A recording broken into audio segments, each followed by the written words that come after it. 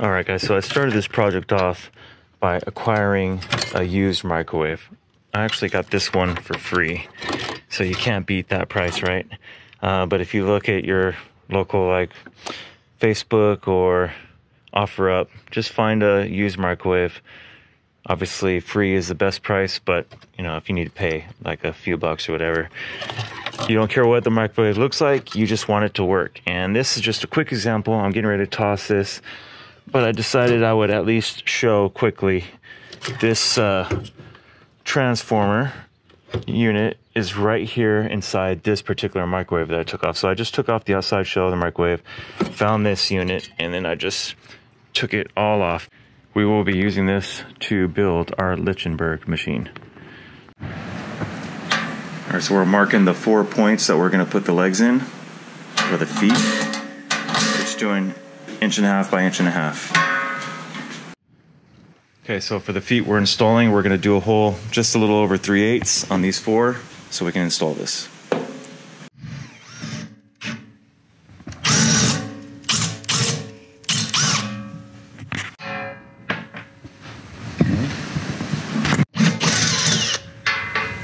Just keep repeating until it fits in.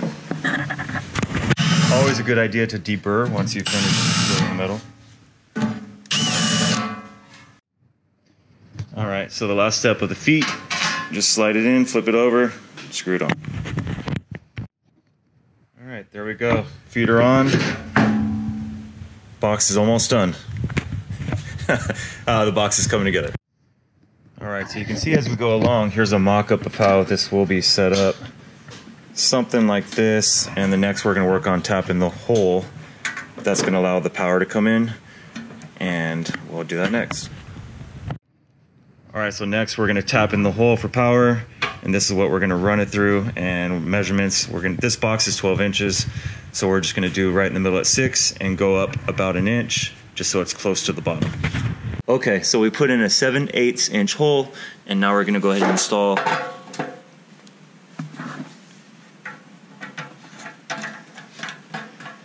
Now we're ready to go ahead and run our power cord through and tighten it down. just like that. Leaving a little excess. It's always good to have extra. And we'll tighten it down. Move on next step.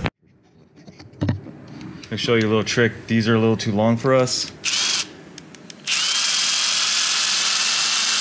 My buddy Jason knows all the tricks of the trade here. Choose out the length that you need. And now you got a shorter one. All right, so we're working on the electrical, and so we're using some terminal blocks. As we've stated in other parts of the video, you could always just use wire nuts. You could use other ways of tying them together, but we have access to these components, so I'm going to show you how we do it.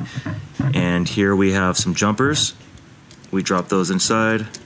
I'm doing this one-handed. Let me try this one more time. Oh, I'm not one-handed anymore.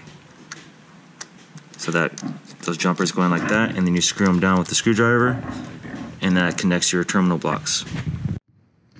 Okay, so we marked where we're punching our holes now for our actual power transformer.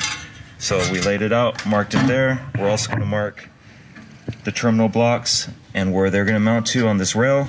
We'll punch all those out and then we'll install them. All right, so we've tapped the holes for our power transformer. It lines up like so, and the holes on this are tapped already, so we're just gonna come through the underside and tighten it down, lock it in place. All right, so now we're gonna put the holes in for the DIN rail. And what we're using is, this is a cool little set, but basically you drill a hole and then it will tap it for you at the same time. So we're gonna go ahead and put our holes there, and then we'll mount the DIN rail.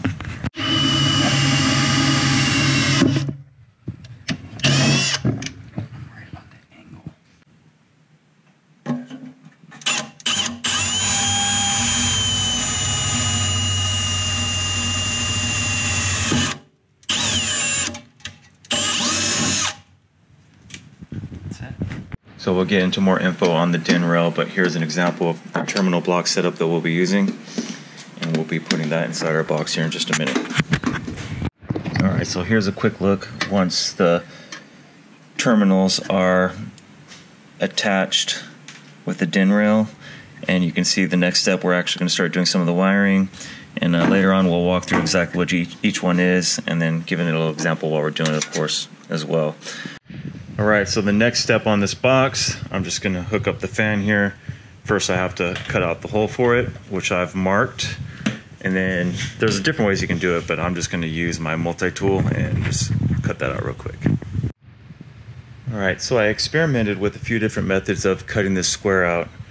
I tried the multi-tool, and I could get some better blades for that and see if that worked any better, but it was taking a little while. So then I tried a cutoff wheel, and that was working maybe a little bit better as far as cutting through it, but I still wasn't really happy with it. And then I went to a jigsaw with a metal cutting blade, and that actually started cutting through really nice and clean. So what I'll do is I'll just put four holes in each corner to give me a starting point, and then I'll just cut it out with the jigsaw.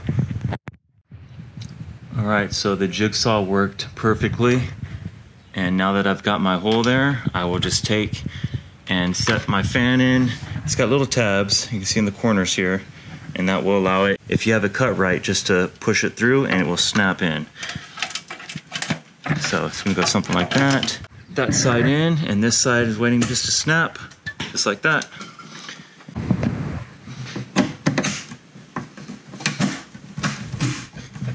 All right, and then it's all the way snapped in. All right, guys, this next hole, I did the same thing. I drilled four holes and then used a jigsaw, cut it out, used a file, cleaned it up, and then created just the right angles and space for everything so I can go ahead and install my meter. And so you can see this is a nice snug fit like that, and then should be able to clip it right in. All right, guys, so let me go over the wiring with you. I've said it many times in this video, probably, but this is very dangerous. It could hurt you, it could kill you. Uh, don't do anything you're not comfortable with. I'm just showing you this because this channel is all about doing things yourself, and I'm just showing you how I did this. Again, I'm not saying you should do this. It's dangerous, it could kill you. Here's how I did the wiring though I've got my power coming in through the back of the box, and the three wires that come in I've got the green for ground going to the grounding terminals, the white for the neutral going to these neutral terminals, and then the black for my actual line load power line, which is coming into this fuse. So once it comes into the fuse, then that line comes out the fuse on this side and goes to the power switch right here. So this black line comes to the power switch and then the white line comes out of this power switch and goes to this next set of terminal blocks. These are all my power blocks on this side. So the white line feeds in these power terminal blocks, and out the other side, there's three different wires that come out. You've got a wire for the light, a wire for the fan, and a wire that goes to the voltage regulator, which is here. So you can follow these out. So I've got one wire that comes out right here. This is powering the input to the voltage regulator. The other two wires, one is this black line that comes out over here for the light, and the last black line is the power that comes in for the fan. My fan is wired with the power in, and then it also goes to a neutral. This light over here goes to a neutral as well, and the input side of this voltage regulator is wired down to a neutral, and the output side of this voltage regulator is wired to a neutral, and the output side of the power goes down to this next terminal block. And this next terminal block powers both the voltmeter, so you can see what the voltage is as you adjust the voltage regulator and the other line goes out to the pedal switch. The pedal switch power comes in and it's got a ground And then the other white line that comes back out, I take to the next terminal block to power the next block. And on the output of that terminal block, where it connects, actually goes to the transformer. So on this transformer, you've got your inputs, and then you've got your hot output, which is going to my red cable. And then you have your ground, which is going to my black cable. And these other lines, I can actually cut them off in the future all the way off, but I just left them for now. They don't do anything. They were from when the microwave transformer was hooked up to the microwave itself.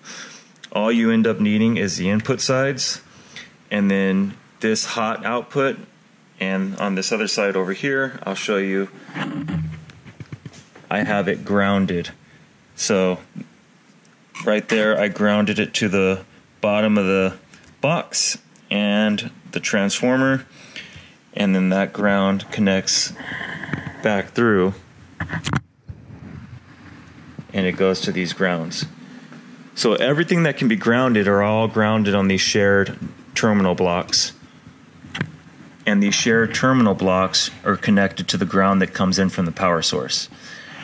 And then the white line that comes in from the power source goes to my neutral blocks and everything that has a neutral so that would be like this light this fan neutrals on this voltage regulator and the neutral on this voltmeter the neutral on this transformer all goes to these neutral blocks and then as i just broke down the order of how the power all hooks up and runs through so all the systems work as needed. So i'll give you an example. When you power it up.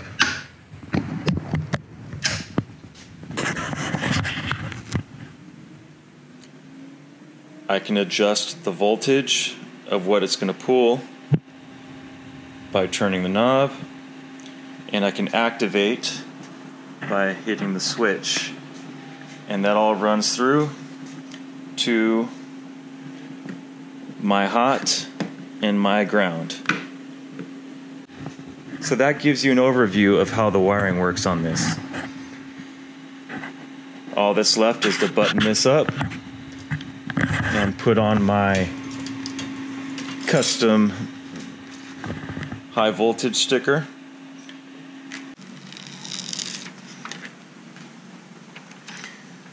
My high voltage sticker. Let's go ahead and pop this bad boy on. Uh, I'm thinking somewhere right around here.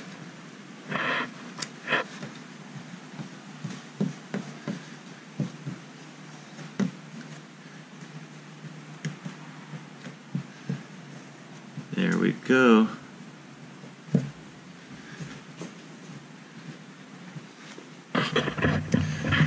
All right. So there is our custom built Lichtenberg machine with a voltage meter, safety power switch, toggle switch, running light. You got the cooling fan, the heavy duty cables for safety and protection, and a switch to power it on and off. This was a fun project. I hope you guys enjoyed it, and thanks for watching. As always, like and subscribe, and more videos are coming. Take care.